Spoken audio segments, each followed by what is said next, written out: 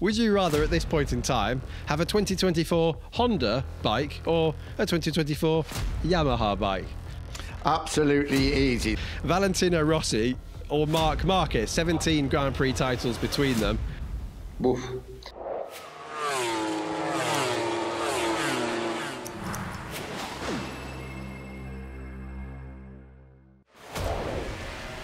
Well, what a Grand Prix weekend at Misano last time out. Jorge Martin doing the double to close the championship lead to just 36 points now over Pecco Bagnaia after his heroics following the almost leg-breaking crash of Barcelona just a week earlier. Oh, and what about Dani Pedrosa? Welcome along then to MotoGP Guru. Thick and fast, the race is coming up now with a triple header, one of two triple headers before the end of the season. Nick Harris, nice to have you with us as always. 36 points then, back to Jorge Martin from Pecco Bagnaia. Is this actually on now?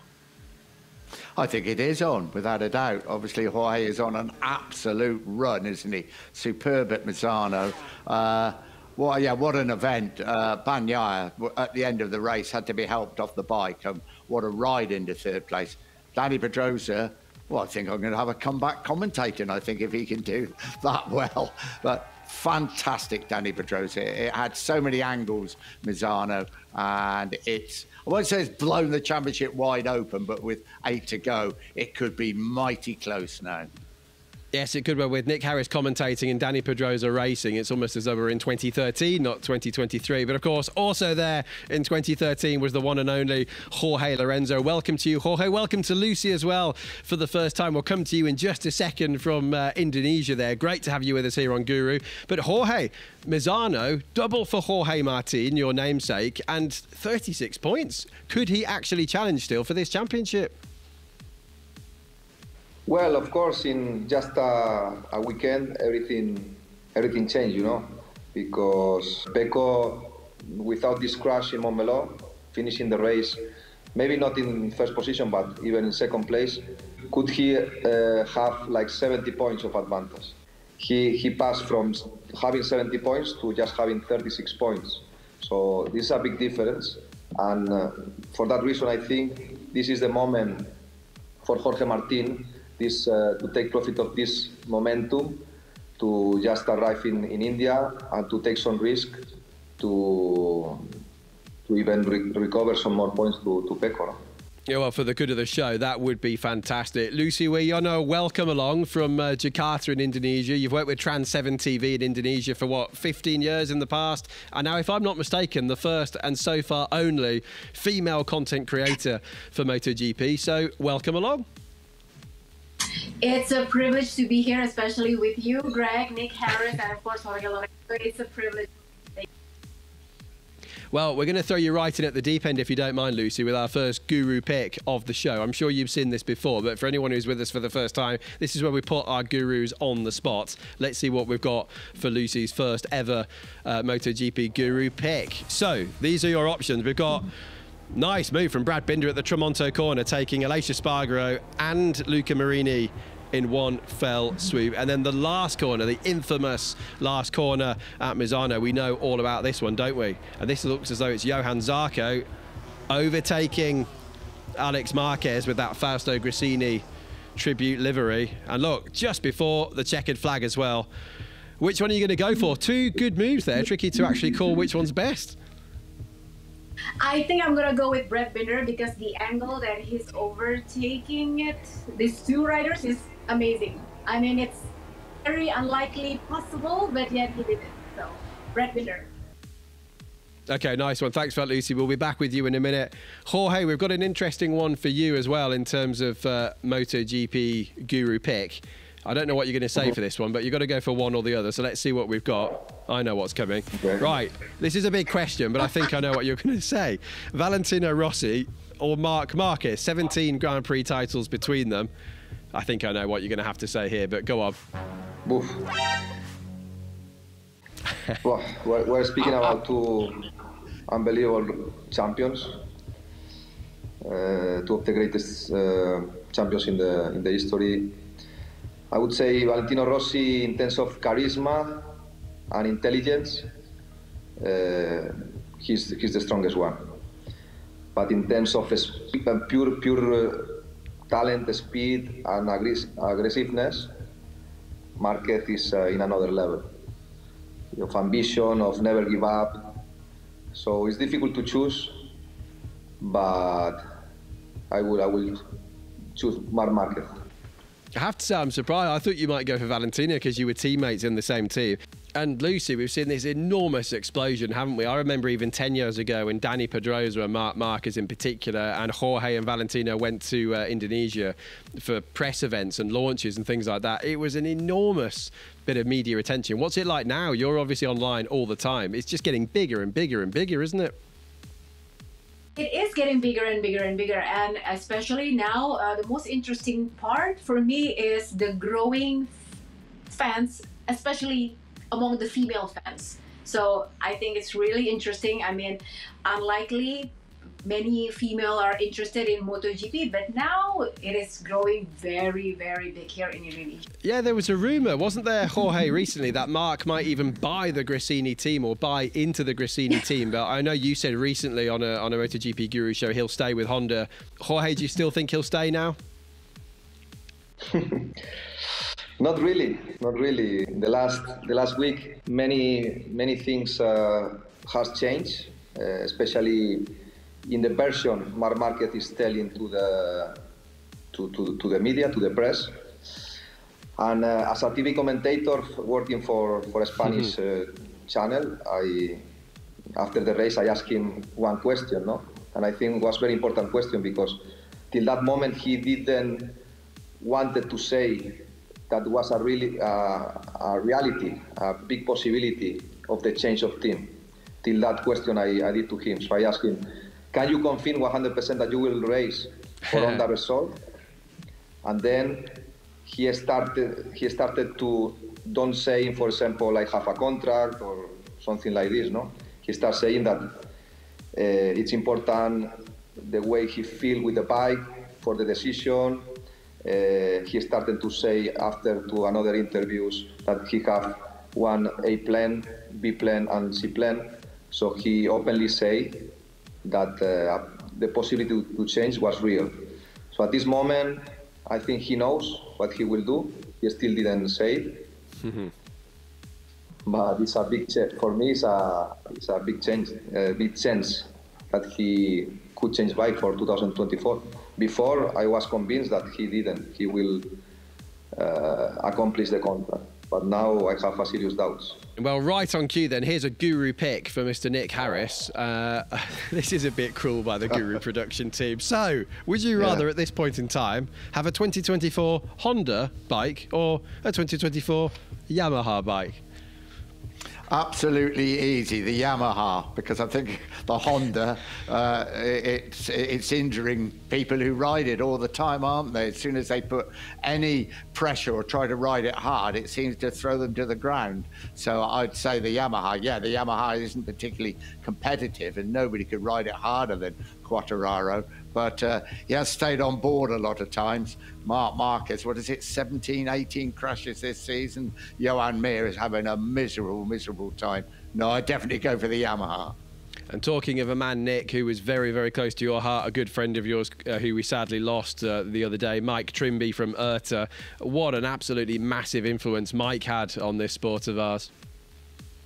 Yeah, I, I, I, think people do realise now, sadly, with, with, the passing of Mike, just what he did. Uh, the riders' safety, the riders' well-being, the, the, the paddock, and just the respect shown to riders and teams, and then the way Mike brought everybody together to prefer to what we see MotoGP is today was so, so much to do with Mike. And here we are setting off on this world adventure now, uh, starting in India. And so, so much of that is down to Mike Trimby. He will be so missed.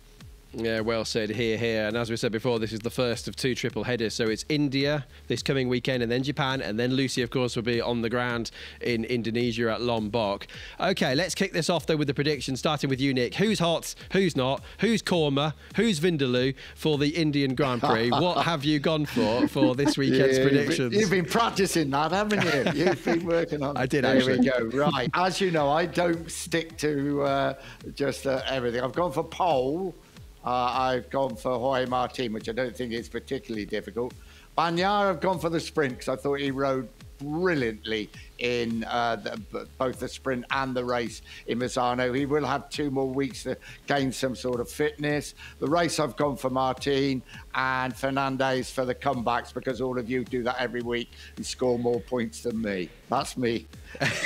Fair enough. I think we need a woman's intuition. Lucy, quickly put us out of our misery. okay, so my predictions are for the Pullman, I think Jorge Martin because I honestly believe that he has the momentum. Uh, for the sprint, I go with Marco Bezzecchi because also he has this a very determination to win the race. For the race, obviously, I know Mr. Nick Harris for ooh, let's see. for Pecco I wouldn't boo you. Too obvious, right? It's a safe choice. And for, but I think I put uh, Pecco Bagnaia is because his his grit and his determination shown at the San Marino GP, and that's why I picked him. And for the comeback, I choose Fabio Quartararo because I think he can manage to pull some magic in the Buddh international circuit. So that's mm. my prediction. Yeah, and it's been a long time since we saw a big event 10 years uh, since yeah. F1 was uh, the Buddh International Circuit. Okay, five time champion George, you must know what you're talking about. Who have you gone for for your predictions this week? Well, this time it's gonna be very hard, very hard to to, to make it right because new, new circuit, completely new for, for everyone, new tarmac. Can be perfectly that some bike uh, being much more competitive, like for example KTM or Aprilia again, like in Montmeló, and Ducati will not work and can, can happen this perfectly. But I think at this momentum of the of the season, with this sweet moment that Jorge Martin is, is having, I will take a big risk even knowing that it's a new track. I will put him for the pole position, for the sprint, and also for the race victory because I think if he really wanted to fight till the end with Bagnaia, he needs to start now to recover as many points as possible. For the overtakings, instead, I will not take so many risks. I just heard for the statistic that Augusto Fernandez, 90% of the times he was the, the rider who recovered more positions. So I will be more conservative and I will go for, for, for Augusto Fernandez. Wow, good stat, Jorge. 90%, that is amazing. 90% of the time. Well, I haven't gone for that. I've gone for something totally different. Uh, I've gone for Marc Marquez, as you can see, for the comeback. I've got a feeling something dramatic is going to happen in qualifying and he can shoot his way back through the order. Jorge Martin, I think, will bring that momentum. And I hope he does because I want the championship to close out. But I've got a feeling that uh, Bagnaia is going to win that main Grand Prix on Sunday. And we do, of course, have two long straights, don't we? Uh, the back straight in particular. So let's see what happens. But Nick, as we said before, new Grand Prix, new events. It's almost impossible to predict, but that's great, isn't it? Uh, it is. It's great for us sitting here. For the riders and the teams, it's probably not such a pleasant problem. Nobody knows, do they? Absolutely nobody knows. We don't know really what the how the track surface is, what the, the, the situation of the track is, the facilities, and until people get there. And as you say, I think it was last year for an international event, around 10 years ago for Formula One, and they just had one event there. It's a real step into the unknown. It's really, really exciting for us. For the riders and the teams, it's quite a daunting task, I would say, but uh, very exciting. Jorge, does part of you almost wish you were there and racing on a new circuit with the guys, or are you quite happy to be commentating? Sometimes I miss uh, the competition and especially the winning feeling. Yesterday, for example, I watched in Netflix again, hitting the apex. Uh, memorizing a little bit the, the, the memories, no, getting fresh the memories of that years, and uh, obviously you have some some missing feeling. But no, I I am very happy with my life, and I love to watch MotoGP because it really, as you said, no, everything can happen, and, and always is a you you you keep in the in the television waiting for something special happen because you know many surprises happen every every weekend. No? Well, I have to say, we're glad we've got you with us. Nick, thank you very much. Jorge, thank you very much. Lucy, just before we go, content creator, very popular one as well, by the way. I'm just intrigued to know which is your favourite social media platform because there are so many of them now. I'm actually losing track. Hmm, my favorite social media platform. Well, actually, I've been sharing so many MotoGP news in Instagram Reels and also TikTok, especially TikTok because the engagement in TikTok is very high and people are craving for MotoGP news in Indonesian TikTok. So Okay. I know Nick likes TikTok, don't you? for dancing, Hey, well, no? uh, yeah, I'm afraid it. Uh, yes, I'm a generation generation behind, aren't I? But I, I understand fully how im- how important. Thank you very much. How Sorry. important it is. Yeah, yeah. Okay. Well, yeah, I'm not on it I either, by the way. Nick So is, that's two uh, of it's just stuck in the in the Facebook. Exactly. Yeah, Yeah. I'm on Facebook. Nick's more of a Facebook I'm, man. I'm Exactly. Twitter. I, do- I have to, I do have a Twitter account, so there I'm not completely devoid of uh, yeah social media. See, that's why I'm glad you're not racing, Jorge, and you're here with us for jokes like that. Thank Yeah. you very much, guys. Uh, we'll be back, of course, next week. We've got the Japanese Grand Prix and then the Indonesian race as well. But the question is, of course, right now, uh, we're going to India for the first time. 36 points between Pecco Bagnaia and Jorge Martin. Who will win in India? MotoGPGuru.com for your predictions.